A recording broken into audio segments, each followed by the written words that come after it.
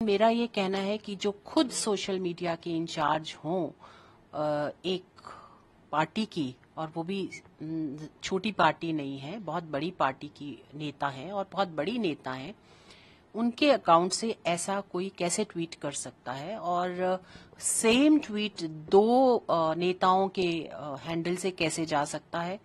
और दोनों ही डिनाई कर रहे हैं। ये आफ्टर थॉट है, मेरे ख्याल से जनता के रिएक्शन देखने के बाद, क्योंकि आम जनता, आम महिलाएँ इस पे बहुत ज़्यादा गुस्से में हैं कि किस प्रकार ऐसी एक महिला ही महिला के अगेंस्ट इस तरह के अभद्र शब्द यूज़ कर सकती है।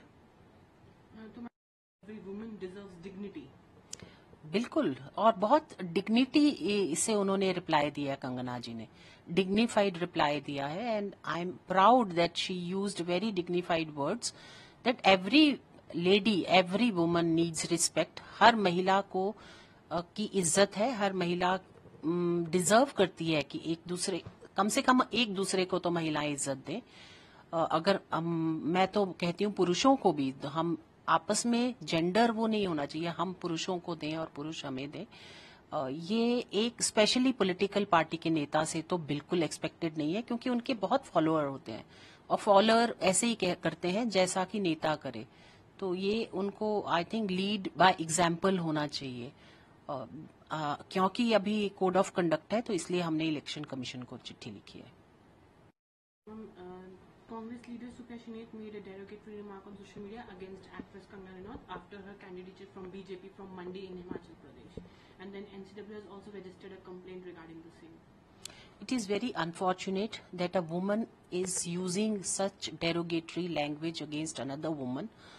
Uh, I have taken it very seriously. NCW has taken it very seriously. We have written to the Election Commission to take uh, stringent ac- action against the party uh, and also against this le- uh, leader.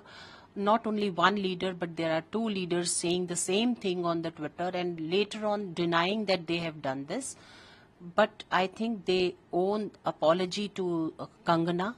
They should come out and apologize because this is not a, a thing to say and then deny that you are you are not saying this.